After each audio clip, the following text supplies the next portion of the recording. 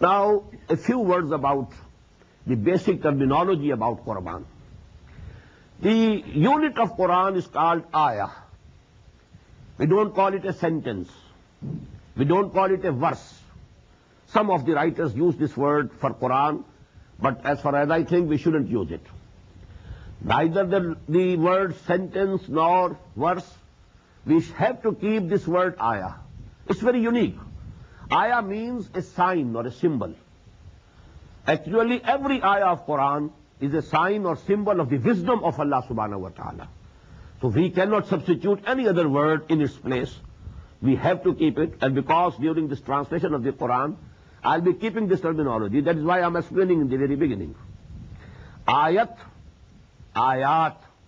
But if ayat, you know, if there is full stop after that, we call it ayah. So these are fundamental things, you know. Ayah and ayat is the same. And the plural is ayat. Now, ayat, you know, they are very small also, very large also. We have, you know, haruf muqatta'at. They also go to make ayah. Hamim, it is ayah. Alif lam mim, it is ayah. Then wal asr, it is ayah. Innal insana lafi khusr, it is again an ayah. And then there are ayat in which you can have ten sentences. Ayatul Kursi, for example. A very big ayah. One of the biggest ayats of the Quran. So actually, these, this, these ayat, you know, they are not based on any grammatical or any other logical, on a principle of logic or grammar. This is based on as Muhammad sallallahu alaihi wasallam told us. And we call it in this terminology tawqifi. These umur, these matters are tawqifi. They are mawquf alayh on the telling of Muhammad sallallahu alaihi wasallam. As he told, we, we accept it. No reason, no principle, no logic, no grammar. Now these ayat, you know, you may note here, there are about 6,666. There is some difference in number. But round about 6,500 ayat of the Quran, whole. Now these ayat, second term is surah, and the plural is suwar. But you know this word is because it's not commonly used. I'll be using the word surah and, and surahs during this translation, when, when translating into English. And what is surah? Surah is not a chapter. Please note, these terms are not applicable to the Quran. These terms which we use about the books generally, sentences, paragraphs, there are no paragraphs in the Quran. Then there are no chapters. This is not chapter. Because you know, for every chapter of a book, there must be a certain topic, and the, that topic should be discussed in that chapter alone. It shouldn't be repeated in the second chapter, or again in the third chapter. But we find in the Quran that even the story of Adam and, and Iblis, it has been repeated in seven surahs of the Quran. So actually it's a unique book.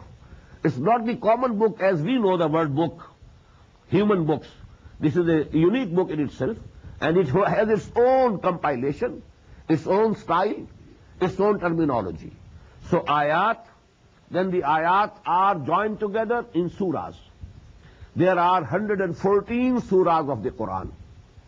And these surahs, you know, are very small also. Three surahs are there who have only three ayat each.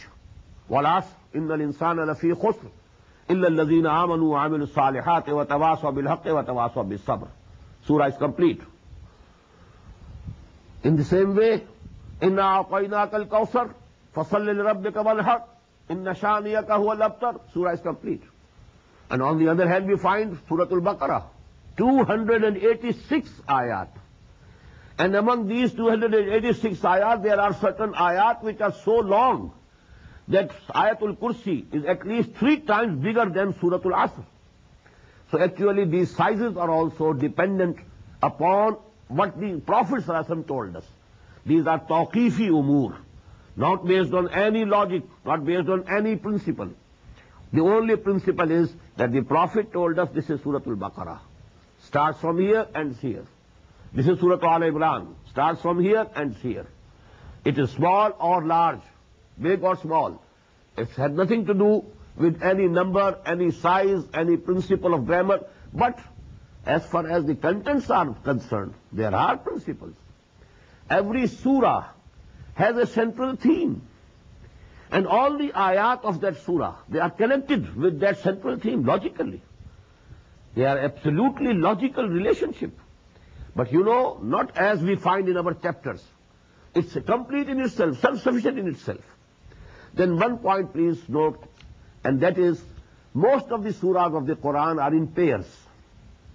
Suratul Baqarah, Suratul Al Imran, a pair. In the same way, we, the, the Musaf ends with Muawwazatayn. Bi rabbil falaq, Qul a'udhu bi rabbil nas. Very similar to each other. That's a pair. In the same way, وَالضُّحَا وَاللَّيْلِ ذَا سَجَى أَلَمْ نَشْرَحْ لَكَ صَدْرَكَ The same thing being discussed in both these surahs. Addressing Muhammad sallallahu alaihi wasallam personally. It's a pair. Very apparently a pair. In the same way, Ya ayyuhal muzammil, Ya ayyuhal muddassir, Ya ayyuhal muzammil, قم الليل إلا قليلا يا أيها المدثر قم فأنذر It is again a pair. So most of the surahs of the Quran are in pairs. Although there are surahs which are not in pairs. They are unique. They are munfarid. And most of such surahs are very important. But actually this, we shall be referring to these things during our translation. That is why I want to acquaint, acquaint you with this basic terminology. Now these surahs, the big surahs have been divided into rukus. This division was not present at the time of the Prophet or during the days of the Sahaba. It was done later on during the Umayyad period and by a person which is not liked by many and that is Hajjaj ibn Yusuf. He is the person who divided Quran, the bigger surahs of the Quran into rukus. Why? Because you know you can't recite the whole of Surah Al-Baqarah in one rakat in the prayer. So there must be portions. So can you can recite them in your prayers. So for that purpose, one ruku for every rakat. The, the, the, root is the same. Raka, ruku, rakat, and ruku. All these things what are? One rakat, you, you can recite one ruku. So that one subject is discussed in one ruku. So this was done later on, but it was not present in the days of the Prophet or of the companions. In the same way, then the whole of the Quran was divided into 30 parts, which we call paras and parts in Quran. This division also was done later on, and we don't know when it was done. But it definitely was not present in the days of the Prophet sallallahu or of the companions. This was to facilitate the Muslims so that every Muslim can read and recite one para, one part of the Quran every day, so that each month he completes one recitation of the whole of the Quran. But these two words, these two terms, rukus and paras or parts, they were introduced later on. They were not present during the days of the Prophet or of the companions radiallahu ta'ala majma'een. But then, you know, another word which we find in ahadith, that is hizb. The surahs of the Quran, they were grouped in such a way that Quran was divided or divisible into seven nearly equal parts, not exactly equal. Some hizb is more than five paras. First, first hizb is more, more than five paras. Some is less. Because you know, if you divide 30 parts into, and you divide into seven, you know, so what will come? About four and a half in each. But we have somewhere it is four and a quarter, somewhere it is about four, somewhere it is more than five as I've told you. But the beauty is, and this word was present during the time of the Prophet because people who had more love for Quran, they used to complete the recitation of the Quran in every week. So they had to divide Quran in seven parts so that they can complete the recitation of the Quran in one week, seven days. So we find the beauty is that the surahs are complete. They are not broken in this division into ahzab or manzil as we call it in, in Urdu generally, manzil. And the ahzab, this is the Arabic word mostly used. We have three surahs in the first. If you leave alone Surah Al-Fatiha, which is the preface of the whole of the Quran. Then three surahs. Surah Al-Baqarah, Surah Al-Imran, Surah Al-Nisa. One manzil, one hizb. Then five in the next, seven in the next, nine in the next, eleven in the next, and 11, 13 in the next, and then 65 surahs in the seventh hizb. That is also a multiple of 13. 13 into 5 makes 65. So actually there's a beauty, numerical beauty, as well as, you know, a gradual increase, 3, 5, 7, 9, 11, 13, and then 65. So this was also present, this division of the Quran into seven ahzab, or seven manazil, during the days of the Prophet ﷺ. Lastly, there is another grouping of these surahs. And incidentally, this is also in seven groups. These seven groups are groups of Makki and Madani surahs. We find in the Quran one or two Makki surahs, then one or more Madani surahs, it becomes one group. Then two or three or one or two Madani Makki surahs, then some Madani surahs, second group. Then Makki, then Madani, third group. Again Makki, again Madani, fourth group.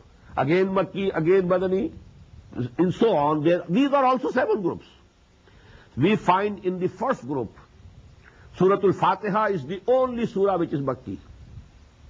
Only one. Then four longest Madani surahs, Surah Al-Baqarah, Surah Al-Imran, Surah Al-Nisa, Surah Al-Ma'idah, and this goes to make the first group. This is not first manzil, first group of Makki Madani surahs. Then we have two surahs which are Makki. Surah Al-Anam, Surah Al-Araf.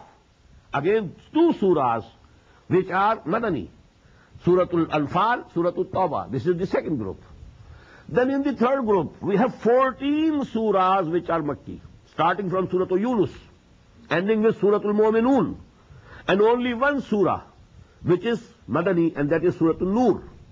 Then eight surahs which are Makki, again one surah which is Madani, Suratul Ahzab, so on. Then again 13 surahs which are Makki, and then three surahs, Surah Muhammad sallallahu alayhi wasallam, Surah Al-Fath, Surah Al-Hujurat, these are the Madani surahs. Then you know from Surah Al-Qaf till Surah Al-Waqi'ah, they are the Makki surahs.